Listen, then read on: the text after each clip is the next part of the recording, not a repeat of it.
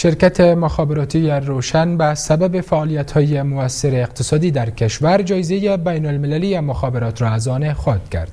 روشن که یکی از شرکت های فعال مخابراتی در کشور است و بیش از سی هزار تن زمینه کار فراهم کرده و در حال حاضر بیش از 5 میلیون مشتری دارد. امیرزی سنگین وزیر مخابرات کشور این جایزه را به نمایندگی از افغانستان تسلیم شد.